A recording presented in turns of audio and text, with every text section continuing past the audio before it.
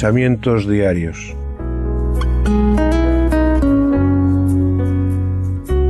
Sencillas pero profundas reflexiones para cada día de nuestras vidas. Meditaciones de la palabra de Dios nacidas de un corazón agradecido por su gracia y misericordia. Pensamientos diarios.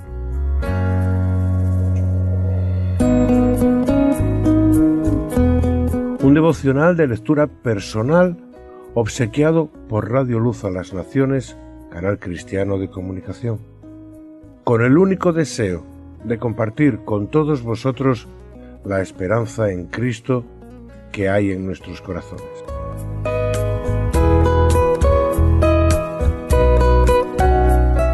El estado del bienestar.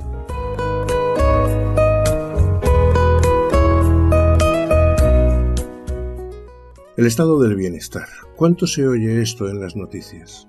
Las gentes, todo el mundo ve peligrar su existencia por la supuesta pérdida de tan preciado tesoro.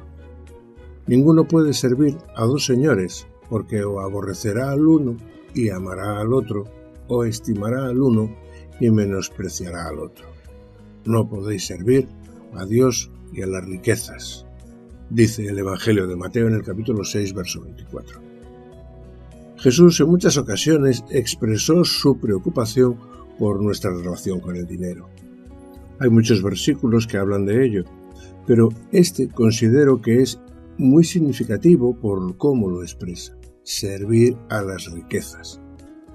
Si lo analizamos podemos concluir que no se trata tanto de un servicio de estar a su disposición como podríamos pensar, sino de cómo nos relacionamos con él de cuál es nuestra verdadera relación con el dinero y la autoridad que le podemos otorgar.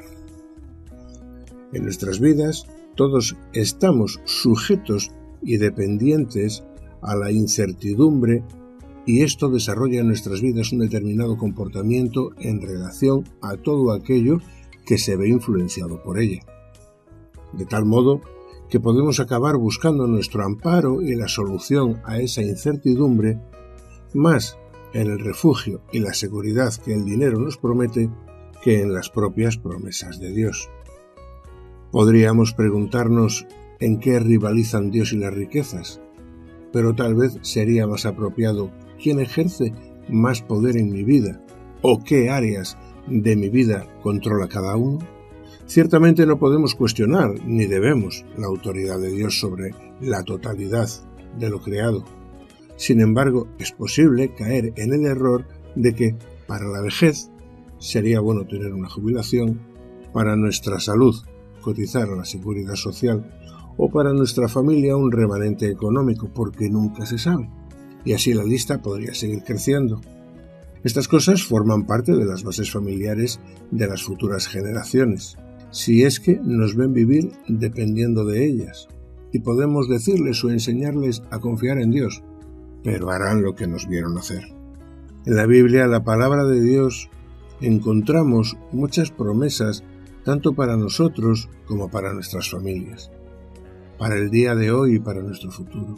Promesas que no voy a citar, pues cada una de ellas ha de llegar a nuestra vida por sí sola y en su justo momento. Hagamos las nuestras. Dios no solamente ha querido librarnos de la esclavitud del pecado, sino de toda incertidumbre que quiera adueñarse de nuestras vidas. Que todas nuestras necesidades y temores descansen en Él, y que hoy podamos vivir como una realidad aquel versículo que dice, fui joven y he envejecido, y no he visto justo desamparado, ni su descendencia que mendigue pan. Libro de los Salmos, capítulo 37, verso 25. Pensamientos diarios. Meditando en la palabra de Dios.